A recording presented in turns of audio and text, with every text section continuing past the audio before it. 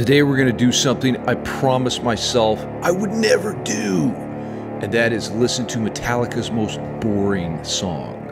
There was a dark and horrible time in Metallica's career in the mid 90s. I'm talking about the load and reload era.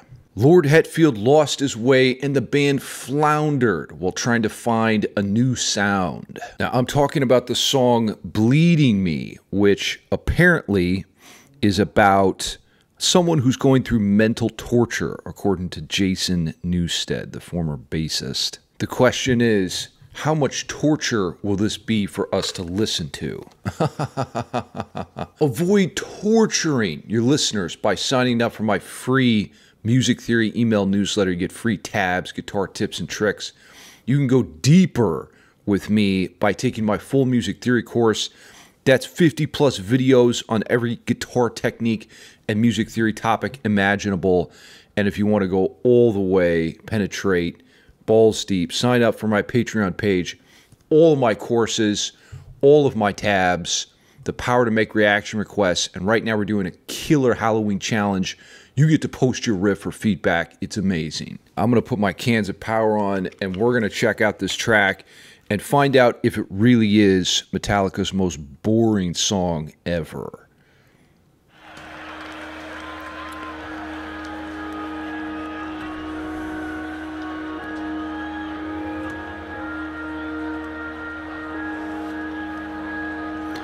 A little bit different, starting off with like an organ.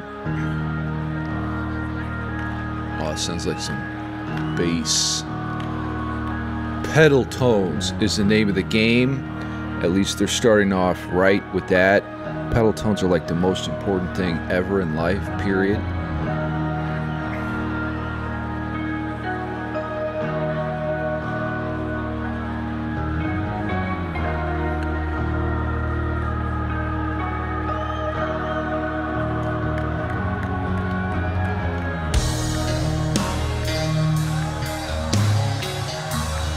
Lars, give it to me.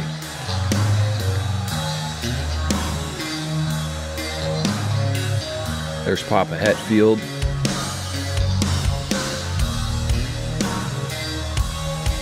Bass.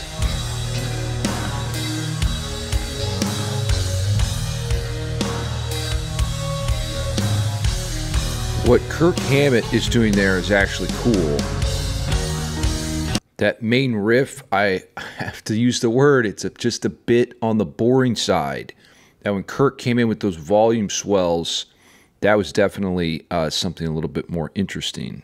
Especially, man, I, I love this idea again of, of the pedal tone where you have something fixed going on underneath and then there's chords changing on top.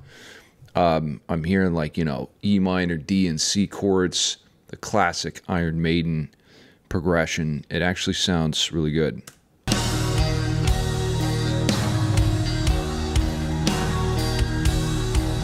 it sounds like nothing else matters though. You blew it! You blew it, Kirk! Oh.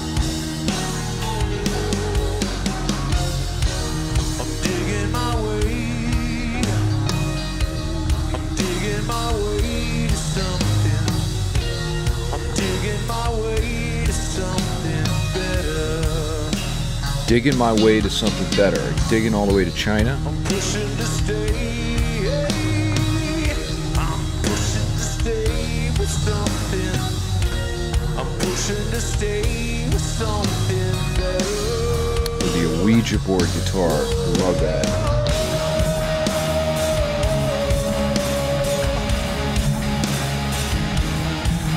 Yeah.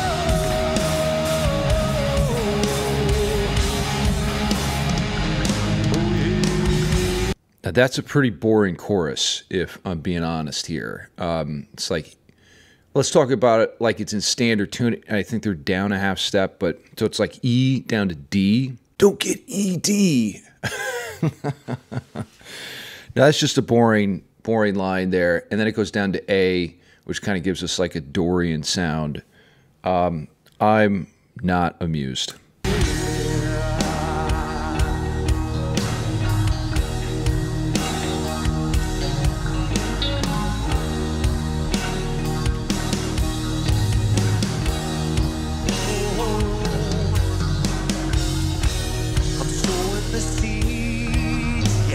Verse 2. Let's see if we can make it through a second verse.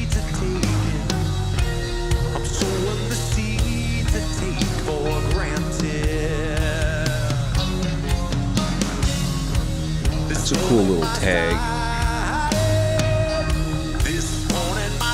Kirk and James always have this nice synergy between their guitar parts, the way they orchestrate.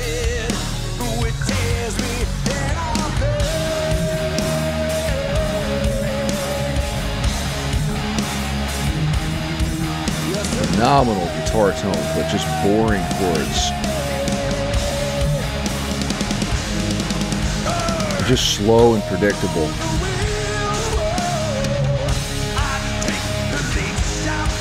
There's that A again.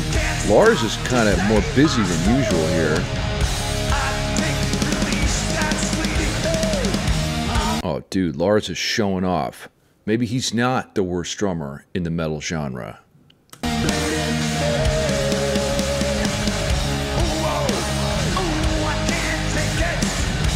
Take that shit. Can't take this song.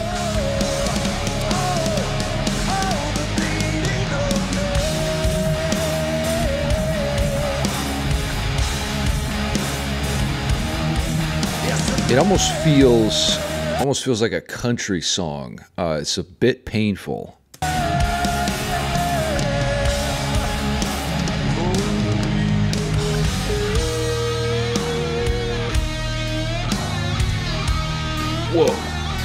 Slide.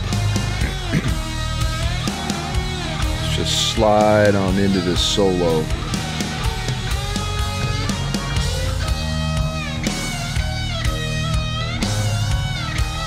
I mean, they were trying different things, obviously, in this period.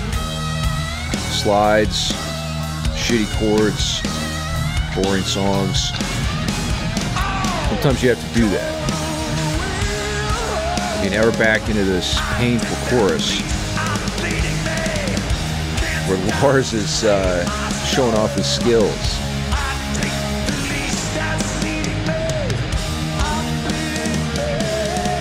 Ooh. Bit of a sour harmony there.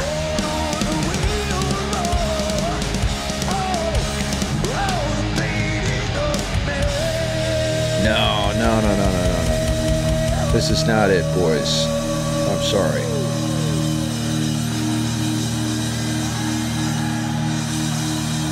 Papa Het knows it. He's trying to summon more musical power. His voice is sounding really good. It's very in tune, on key, lots of power. Oh wow, what is this section here?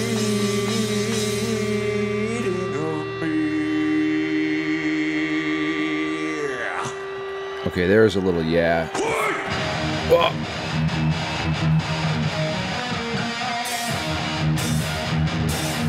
This is different.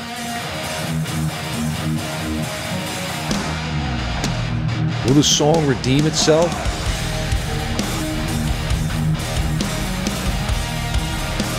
We're gonna need some crab walking from uh, the bassist for that.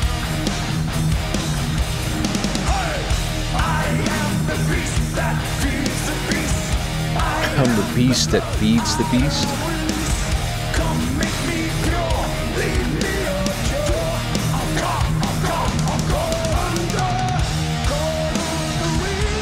Okay, so we're back in the chorus. That was like a bridge. I don't know if I can do another chorus here. Oh, oh my ears. Bleeding.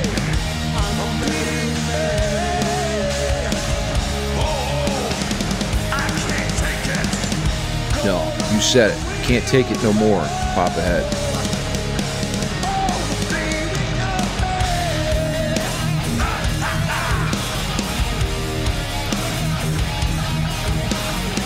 Walk. When in doubt, hit the wall.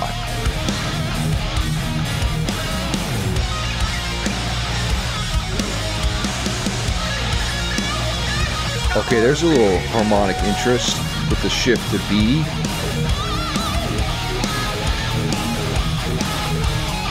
Kirk, I don't think a wah pedal's going to save this song.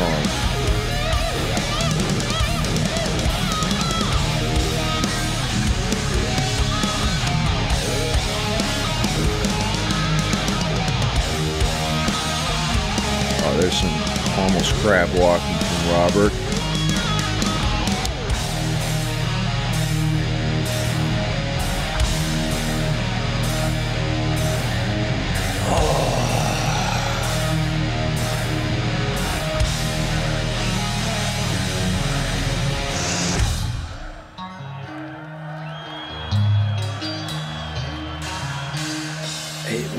Like some key changes or tempo changes or a little bit more variation in the riffs.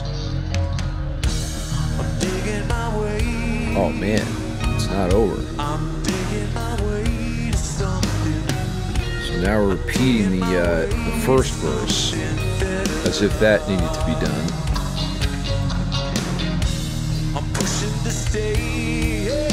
Look at that sky, very ominous.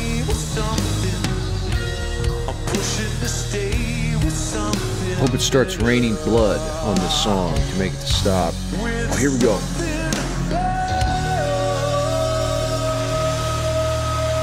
It's over.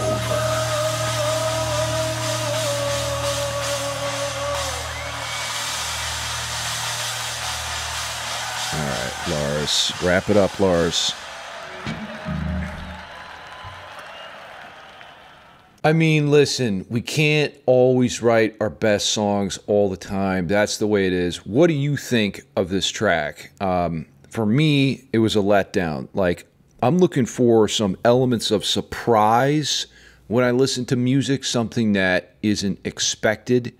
And this song just doesn't really deliver. It sounds to me, you know, like they're trying to go more commercial, even past, you know, the Black Album. The Black Album was like their first attempt at sort of appealing to a wider market. But then they just went too far with the load and reload. Write less boring songs by signing your soul away to me for my free music theory email newsletter. It's an incredible deal. Just costs your soul. No, I'm just kidding. It's totally free, free tabs.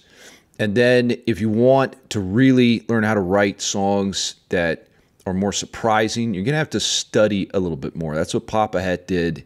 So take my full music theory course for that. He went to the School of Hard Knocks and the School of Metal, but I've sort of condensed all that information to speed up the process for you. And if you want to go even deeper and become an ultimate master of music, sign up for my Patreon page. The real key element of value there is you get a chance to post your music for direct feedback from me and my other patrons if you really want to grow in your technique and your songwriting, that's the best way to do it. Just get in the ring and start fighting. I'm going to go listen to some less boring music like Cardi B.